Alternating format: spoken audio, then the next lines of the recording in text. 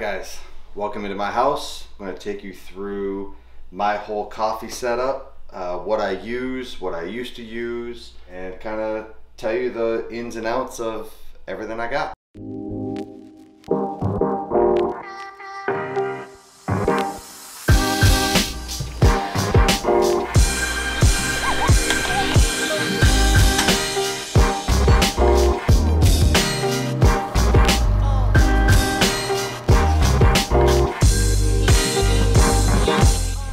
Start off with the main piece of the whole coffee setup, and that's the actual espresso machine itself. This is a La Marzocco GS3 MP. Uh, you know, the best in the coffee game. Any cafe you go to, nine times out of 10, it's gonna be a La Marzocco machine behind the counter. This is a single group head, so that just means there's only one group head here with one portafilter. When you get into the bigger industrial ones, they'll have two of these units side by side or three. The GS3 comes in a couple different variations. This one is the MP, so the manual paddle. So that's this right here. Um, I chose this just because I like to geek out. You know, it's kind of like my engineering background. It's one more variable that you can put in.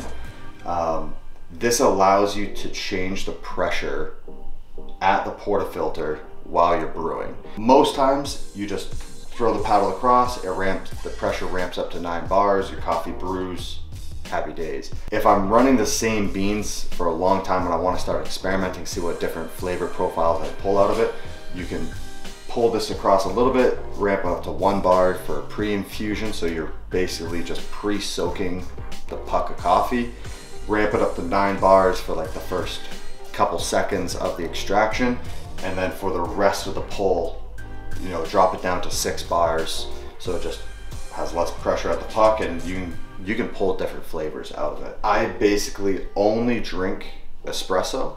Originally when I got into coffee, I thought espresso was just like a super condensed coffee. If you get into good espresso, you're getting flavors like, you know, raspberries or toffee or, you know, crazy, crazy, not just a dark over roasted sludge. You can get very light, floral, acidic, fruity flavors. This machine is double boiler, so there's a dedicated boiler for, for brewing and then a dedicated boiler for the steam wand. Fun fact, I've never used the steam wand.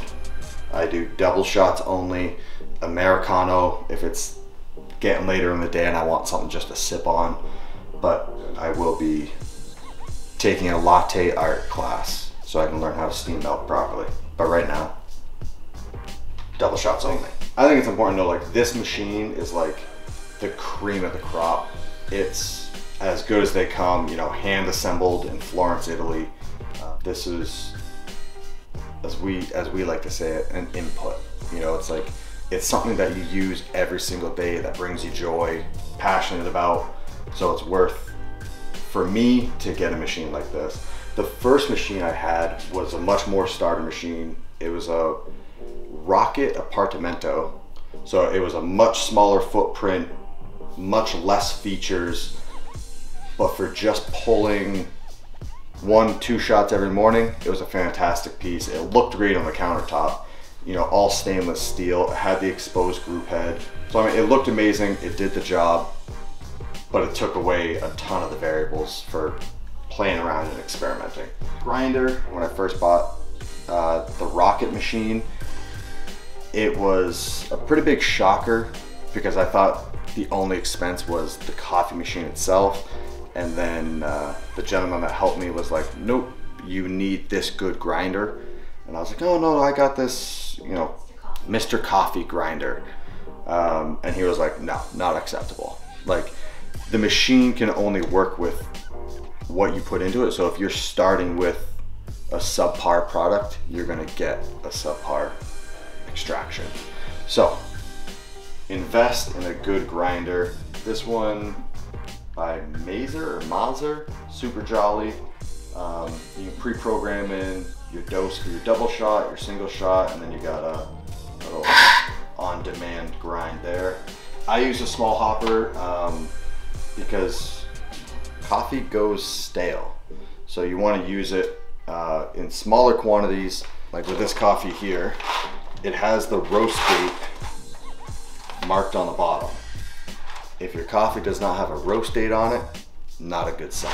So just when it's out here, it's not airtight, you know, it's uh, kind of exposed to the elements, you know, the heat fluctuation throughout the day. So it's gonna go stale a little bit quicker. So I just keep it in a smaller hopper, so it's smaller quantity. I move through the whole hopper a little bit faster. And then when the bag's open, just a like airtight vacuum seal bucket to throw it in, uh, helps it keep a little bit longer.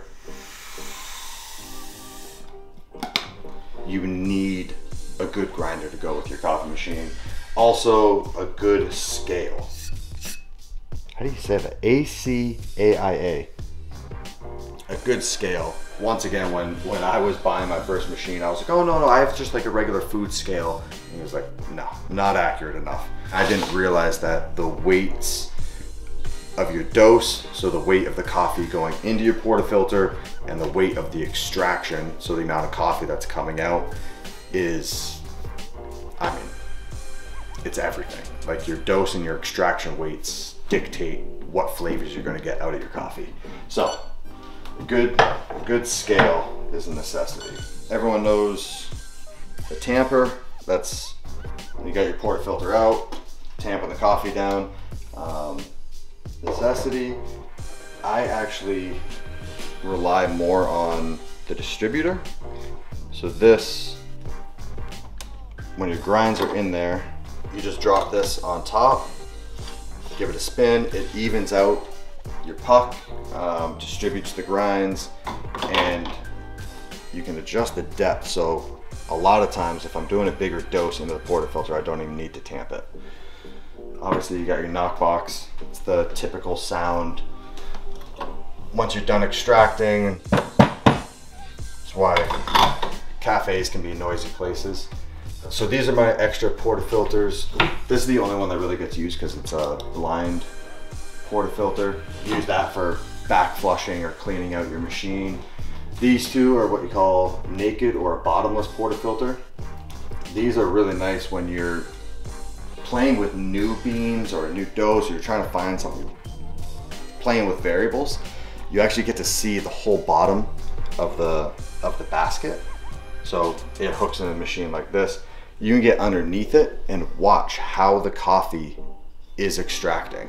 So if you're getting just bitter or sour coffee or you know it's just not coming out the, the flavor you're expecting, throw one of these in and you can watch it and you'll see like if there's channeling, so it's all coming out of one specific area. Like so if there's a crack in the port of, in the puck, the water will go to the path of least resistance and it will all channel through that one weak spot. So you know, okay, I need to tamp more evenly or you can see if all the coffee's rushing out, so I need to tighten up the grind a little bit or you can tell a lot. These hangers are Portakeeper. I literally just found them on Etsy, I think. Over time, you start collecting mugs and cups. Some of them have different uses. So just like a regular shot glass, you kind of tell the volume coming out, but this is, this will be used if you're making a drink. So like whenever we make iced Americanos or something, pour it into that, it's easy to pour somewhere else. But you leave all the glasses on top of the machine so that they stay warm.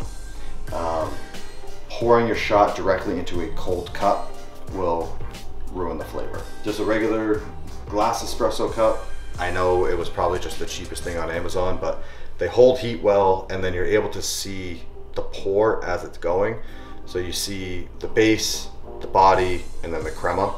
It's just super satisfying when you see the body kind of falling. It looks like a, like when you pour a Guinness. These ones, I got fancy with these ones. So they're double wall insulated glass and then on the inside there's fins to agitate the espresso after you pour it because as you're pulling the espresso there's different flavors throughout the cup and so this you know big overhead area to hold the aroma so you can get a good whiff of it and then the fins to agitate it before you drink it and it holds the heat well And then these just kind of bigger cups for, you know, a long black, which is basically an Americano with a lot less water. So it's like equal parts coffee and water.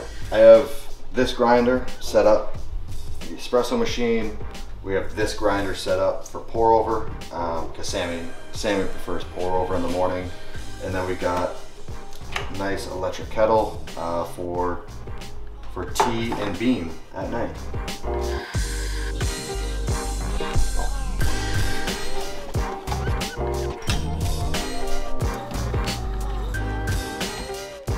I always drank coffee just as like for the energy. Like I just wanted the caffeine. I didn't care how I got it or really how it tasted. Um, and then and I, I drank espresso a lot. So like even just from like the mass chains where they just push a button and you get espresso in a cup, and it was just always it seemed like condensed like a sludge version of coffee, just super, super condensed. It never tasted good. Um, and then we went to Australia, and it was while we were there, and like they basically don't have drip coffee or pour over. It was like everything was espresso based. And I remember getting a shot and like as I usually do, just like throw it back, like plug your nose, throw it back, and you just you're looking for the end result. You don't care how you get there, and and I was like, oh my god, that that tasted amazing, and then come to find out Australia has some of the best coffee in the world, and they're like, no, no, no, like your espresso should not taste like just condensed, to boiled down coffee. It should have its own flavor profiles. So it was actually after that trip that I started trying to research and learn more about it because you learn that there's so many variables and things, factors that go into it, and uh, and that's when I bought my my first machine, that little Rocket Apartamento. Little, I mean, it's tiny little footprint, but it looks like a centerpiece. It's a, I mean, it's kind of like a little showstopper. It's really, it's adorable.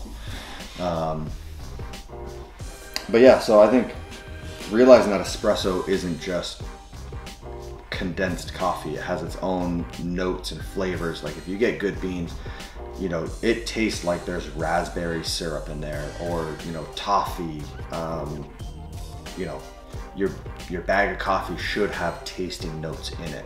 You know, whether it's strawberry, raspberry, toffee, milk chocolate, dark chocolate. Um, and it's a lot on, on the beans themselves, but then also how you brew them.